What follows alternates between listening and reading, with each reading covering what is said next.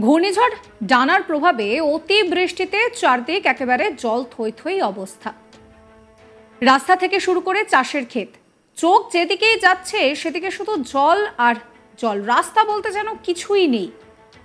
বানভাসী পরিস্থিতির মধ্যে জল পেরিয়েই গ্রামবাসীদের যাতায়াত করতে হচ্ছে। এইরকম অবস্থায় কারও কিছু হয়ে গেলে হাসপাতালে নিয়ে যাওয়ার জন্য একটা অ্যাম্বুলেন্সের দরকার। সেই অ্যাম্বুলেন্স তো দূরের কথা। এখন এই পরিস্থিতিতে দাঁড়িয়ে টোটো পাওয়াও দুষ্কর। সত্য, এক সন্তান প্রসব করা মহিলার হঠাৎ করে যদি কোনো সমস্যা দেখা দেয়? আর তাতে যন্ত্রণায় যদি ছটফট করতে থাকেন ওই মহিলা? এই অবস্থায় তাকে কীভাবে হাসপাতালে নিয়ে যাওয়া হবে? তা নিয়ে ঘোর চিন্তায় পড়েছেন রোগীর পরিবার পরিজন শেষ পর্যন্ত কিছু না পেয়ে সদ্য অপারেশন হওয়া মহিলাকে টিউবে চাপিয়ে জল পার করে হাসপাতালে নিয়ে গেল পরিবার। দেখুন সেই ছবি।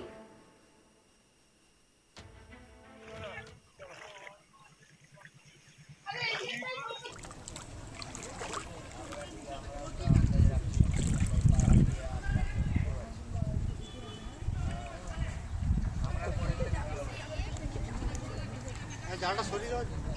বলা সরাই নিচ্ছে ওটা চালিয়ে নিচ্ছে। মাই দড়ি যাবে এই জালটা দেখো দড়ি যাবে। ওই জালে রেখে না পাঁচ পাঁচ কিছু দেখো আর। হাসপাতালে এইভাবেই নিয়ে গেলেন পরিবার পরিজন। যে ভিডিও এখন সোশ্যাল মিডিয়ায় ভাইরাল। ঘটনাটি ঘটেছে পশ্চিম মেদিনীপুরের ডেবরা থানার অন্তর্গত বড়গড় এলাকায়। ওই গ্রামের মহিলা লক্ষ্মী লাইক গত দশ দিন আগে হাসপাতালে কন্যা সন্তানের জন্ম দিয়েছেন। ডানা ঘূর্ণিঝড়ের আগেই বাড়িতে ফিরে গিয়েছিলেন তিনি। এরপর হঠাৎ করে বাড়িতে শারীরিক সমস্যা দেখা দেয় তার। এলাকার আশাকর্মীরা তাকে দেখভাল করছিলেন। কিন্তু প্রসূতির প্রেশার হঠাৎ করে বেড়ে যাওয়ায় বেশ কিছু সমস্যা হচ্ছিল আর তার জন্যেই তাকে হাসপাতালে নিয়ে যাওয়ার প্রয়োজন ছিল। এইভাবেই তাকে হাসপাতালে নিয়ে যাওয়া হয়। আপনাদেরকে শোনাবো কি বলছেন তার স্বামী। তোমার মানে স্ত্রীর কবে সন্তান হয়েছে? সতেরো তারিখ সকাল। সতেরো তারিখ। মানে কদিন আজ থেকে কদিন আগে? এই হিসাবে আমার কাল দশ দিন হয়ে গেছে। দশ দিন। তো স্ত্রী এখন শ্বশুর বাড়ি যাবে বলে বা হাসপাতালে যাবে বলে কীভাবে তোমরা নিয়ে এলে?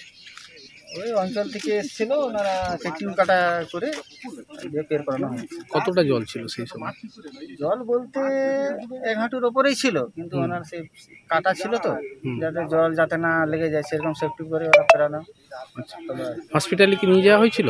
নিয়ে ওখানে হাসপাতালেই আছে। কি বলছে চিকিৎসক প্রাথমিক চিকিৎসা করা। এখন তো ওরা তো সমস্যা কিচ্ছু নেই।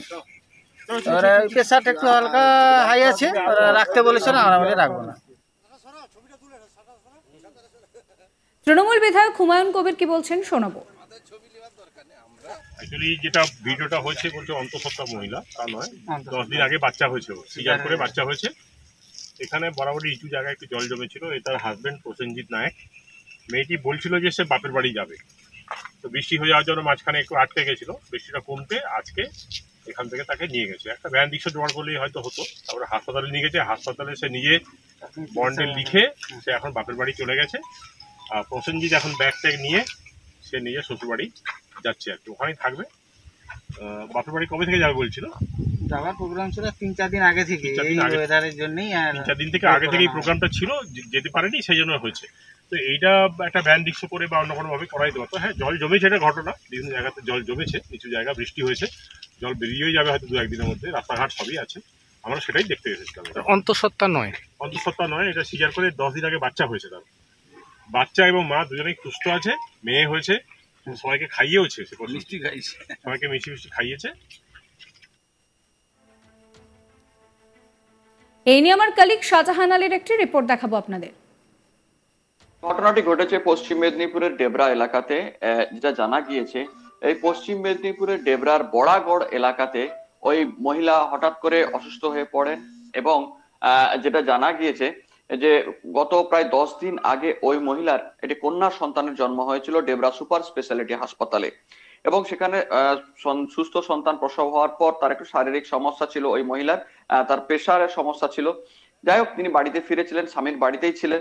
তারপরেই দানা ঘূর্ণিঝড় এবং প্রবল বর্ষণ দেখা যায় এবং এর জেরে যেটা সমস্যা হয়েছিল, এখানে বড়াগড় গ্রাম সংলগ্ন এলাকা প্লাবিত পরিস্থিতি তৈরি হয়েছিল যে চিত্র আমাদের দর্শকদের আমরা দেখাচ্ছি। যে গ্রামের পাশেই, যে গ্রাম থেকে সড়ক পথে উঠতে গেলে যে রাস্তা, সেই রাস্তা পুরোপুরি জলমগ্ন। এই অবস্থায় তাকে তো নিয়ে যেতেই হবে এবং সেই মহিলা বাড়িতে পৌঁছানোর পর আশা কর্মীদের সঙ্গে যোগাযোগ রাখছিলেন। এই আশা কর্মীরা হচ্ছেন গ্রামের যারা ওই মহিলার স্বাস্থ্যের খোঁজ খবর রাখছিলেন এবং তারাই মূলত মহিলাকে ভালো করে যত্ন সেবা করছিলেন। তারা বুঝতে পারেন যে ওই মহিলার কন্যা সন্তানের জন্ম দেওয়ার পর বেশ কিছু শারীরিক কমপ্লেক্সিটি তৈরি হয়, অর্থাৎ তার প্রেসার বেড়ে গিয়েছে। যেহেতু সিজার করে বাচ্চা হয়েছিল, তাই সিজারের জায়গাতে মেরামতের প্রয়োজন রয়েছে। কিন্তু তাকে নিয়ে যেতে হলে সেখান থেকে হবে না, তাকে হাসপাতালেই নিয়ে যেতে হবে। কিন্তু সেক্ষেত্রে প্লাবিত হয়ে গিয়েছিল রাস্তা এবং তাকে যদি কোনোভাবে হাঁটিয়ে নিয়ে যাওয়া হয়, জল যদি অপারেশনের কেটে যাওয়া, স্থানে যদি লাগে সেক্ষেত্রে ইনফেকশন হওয়ার সম্ভাবনা রয়েছে। পড়ে যেতে পারেন জলে তিনি। এই কথা মাথায় রেখে পরিবারের লোকের সঙ্গে সাজেস্ট করেই ওই আশা কর্মীরা, তারা মূলত উদ্যোগ নেয় এবং পরিবারের লোকেরা করে কি যে বাস বা লরির যে সমস্ত টায়ার তার ভেতরে যে টিউব থাকে তার মধ্যে হাওয়া ভরে সেই টিউবকে জলে ওখানকার স্থানীয় বাসিন্দারা ব্যবহার করে থাকে বিভিন্ন জায়গায় নদীতে বা পারাপারের জন্য। সেই টিউবের উপরে তক্তা বসিয়ে তাকে সেখান থেকে নিয়ে আসা হয় এবং যে প্লাবিত পরিস্থিতিতে পরিবারের লোকেরা সকলে ধরে তাকে এক এক প্রকার বোটের মতো করে সকলে ধরে ধরে তাকে পার করে দেয়, অর্থাৎ যে প্লাবিত অংশটা পার করে দেয়। এবং মুহূর্তের সেই মুহূর্তের ভিডিও স্থানীয় কয়েকজনের মোবাইলে ধরা পড়ে এবং তারপরে সেটা ভাইরাল হতে শুরু করে। রটে যায় যে বোধহয় এই যে মহিলা সে বোধহয় প্রসূতি এবং তার সন্তানের জন্মের প্রয়োজন রয়েছে এবং তাকে সেই জন্য হাসপাতালে নিয়ে যেতে হচ্ছে এরকম প্রতিকূল পরিস্থিতিতে। কিন্তু বিষয়টা তা নয়, আসলে তেনার সন্তান হয়ে গিয়েছিল এবং সিজারিয়ানের পরে পোস্ট অপারেটিভ যে সমস্যাগুলো সেই সমস্যা দেখা দিয়েছিল, হাসপাতালে নিয়ে যাওয়ার প্রয়োজন হয়েছিল। এরপরে বিষয়টিতে খোঁজ নেওয়া শুরু হয় প্রশাসনের আধিকারিকদের, বিষয়টি ভাইরাল হয়ে যাওয়ার পরে ইতিমধ্যে পশ্চিম মেদিনীপুর জেলাতে চারশো তিরানব্বই জন প্রসূতিকে বিভিন্ন জায়গা থেকে দানা ঘূর্ণিঝড়ের আগেই উদ্ধার করে বিভিন্ন জায়গায় রাখা হয়েছিল। এবং তাদেরকে সেখানে রেখে ট্রিটমেন্ট শুরু হয়েছে। অনেকে সন্তান জন্ম দিয়েছেন। ফলে প্রশাসনের নজরে যে এরকম কেউ থেকে যেতে পারে, তারা এক্সপেক্ট ছিল না এবং তারা খোঁজ নিতে শুরু করেন। সেখানে হাজির হয়ে যান দুপুরের পর দেবরার বিধায়ক হুমায়ুন কবির। তিনি গিয়ে ওই পরিবারের সঙ্গে কথা বলেন যে, কি ঘটেছে? ততক্ষণে ওই মহিলাকে হাসপাতাল থেকে বাড়িতে নিয়ে চলে আসা হয়। তার কারণ হাসপাতালে যে নিয়ে যাওয়ার পর আশাকর্মীরা যখন নিয়ে গিয়েছিলেন, ওই মহিলার নাম লক্ষ্মী নায়ক। সেখানে হাসপাতাল কর্মীরা কিছু সমস্যা রয়েছে, প্রেশারের সমস্যা রয়েছে এবং তাকে হাসপাতালে ভর্তি রাখারও প্রয়োজন রয়েছে। তো কিন্তু মহিলা জানায়, যে সমস্যাটি রয়েছে সেটা বাড়ি থেকে ওষুধ খেয়ে করে নেব, প্রাথমিক চিকিৎসার পর তাকে ছেড়ে দেওয়া হোক। এবং সেই মতো ওই মহিলা যেহেতু যথেষ্ট সুস্থ ছিলেন, নিজে মুচলেখা লিখিয়ে বাড়িতে ফিরে যান, স্বামীর বাড়িতে ফিরে যান এবং সেখানে তার প্রয়োজনীয় ট্রিটমেন্টের যা সমস্ত সামগ্রী সেটা দেওয়া হয়। হুমায়ুন কবির ডেবরার বিধায়ক তিনি জানিয়েছেন, সকলে সুস্থ রয়েছেন। এমন নয় যে প্রসূতি, তিনি সন্তান প্রায় দশ দিন আগে জন্ম দিয়েছেন এবং তা সুস্থ রয়েছেন। তাকে নিয়ে যাওয়ার প্রয়োজন সাবস্ক্রাইব করবেন আজ তাক বাংলার ইউটিউব চ্যানেলকে ফলো করবেন হোয়াটসঅ্যাপ চ্যানেলও।